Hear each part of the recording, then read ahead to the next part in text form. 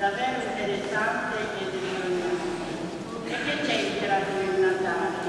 La grazia meravigliosa di cui parla il Santo e la salvezza che ci viene da un bambino un altro. dal secondo canto che il bambino